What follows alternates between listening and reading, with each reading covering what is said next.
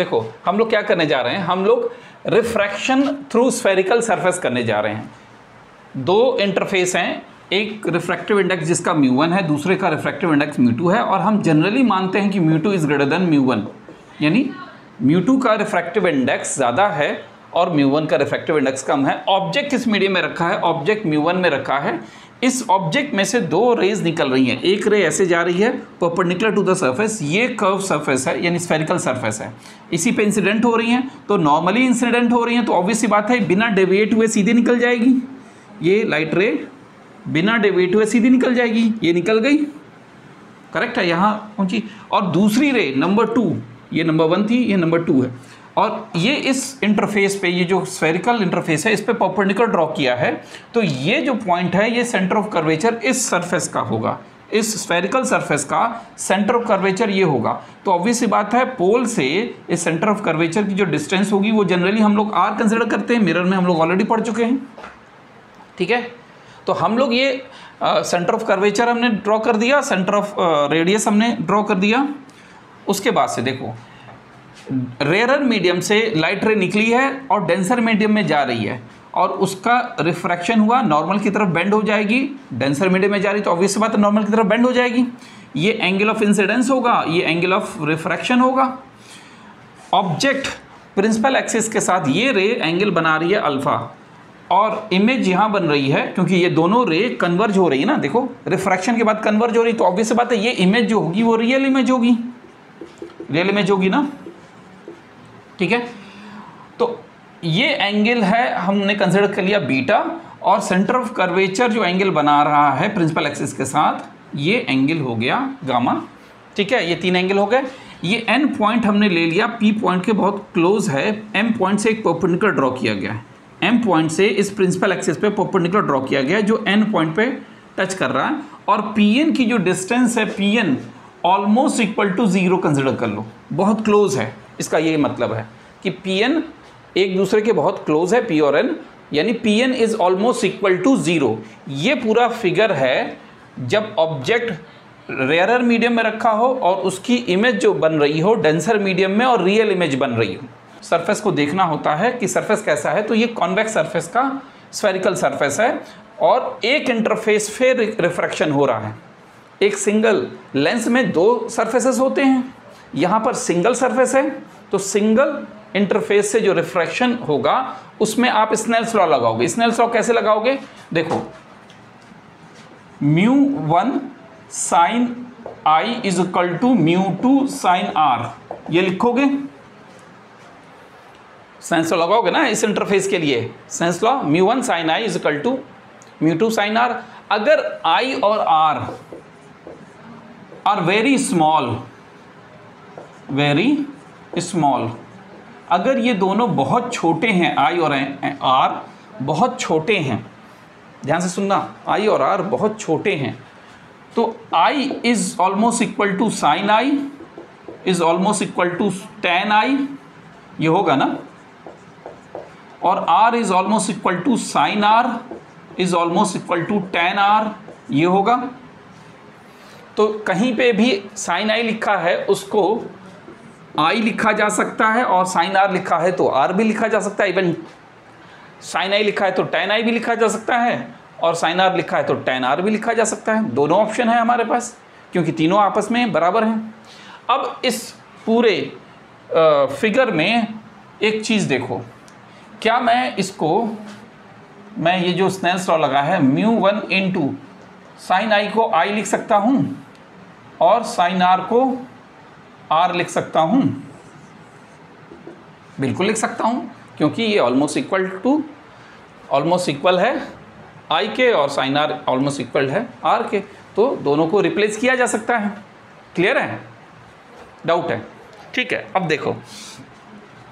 अगर मैं अल्फ़ा को, मैं अल्फ़ा को, ध्यान से देखना।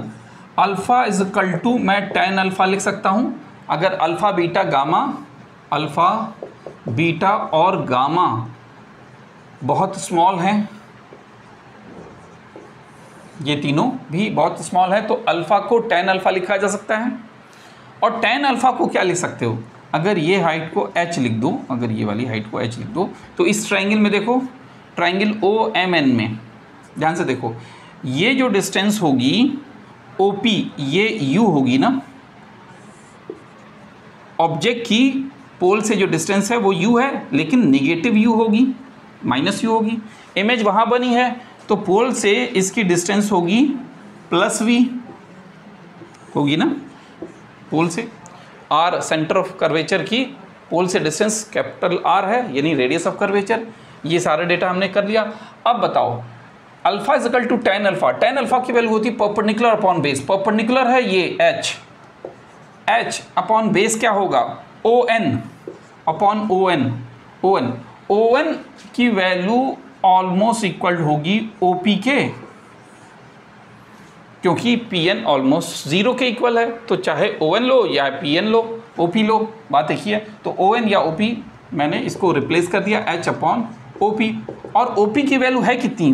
Minus u so H upon minus u अब बीटा की वैल्यू क्या होगी? Tan beta is equal to perpendicular upon base perpendicular फिर से एच अपॉन बेस क्या होगा? आई एन आई एन और आई एन को क्या लिख सकते हो? आई एन को I N is equal to I P लिख सकते हो? ऑलमोस्ट इक्वल तो इसको आई पी हमने लिख दिया। एच अपॉन प्लस वी होगा।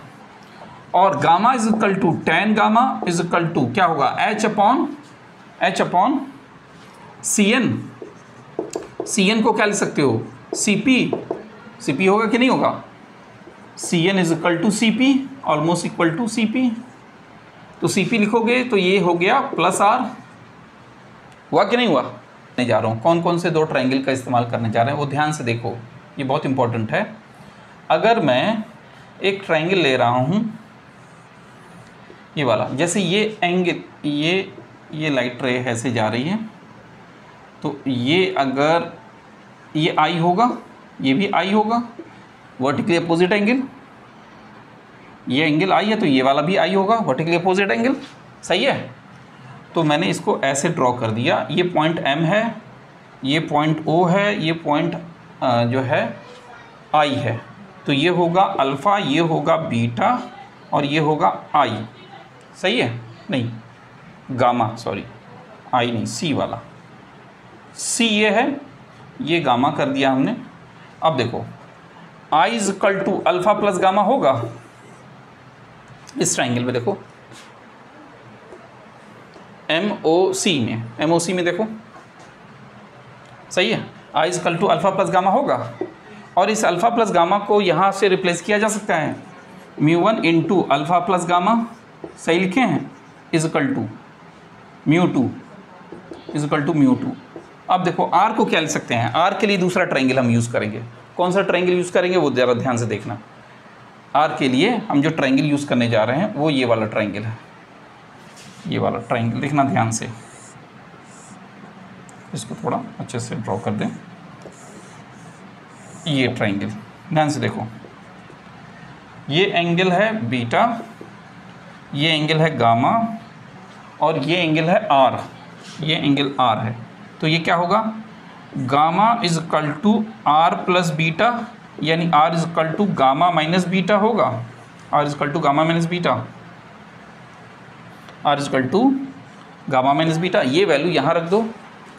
Gamma minus beta, R is equal to gamma minus beta हो गया। सही है? देख लो एक बार। Alpha, beta, gamma. आई और आर का रिलेशन हमने इन दो ट्रायंगल से यूज़ किया, निकाला और वो वैल्यू वहाँ पुट कर दी। अब अल्फ़ा बीटा गामा तीनों की वैल्यू हमको पता है। अल्फ़ा बीटा गामा तीनों की वैल्यू हमको पता है। अब ये वैल्यू हमको पुट करना है यहाँ पर। इन तीनों की वैल्यू हमको यहाँ पुट करना है। नोट कर लिया?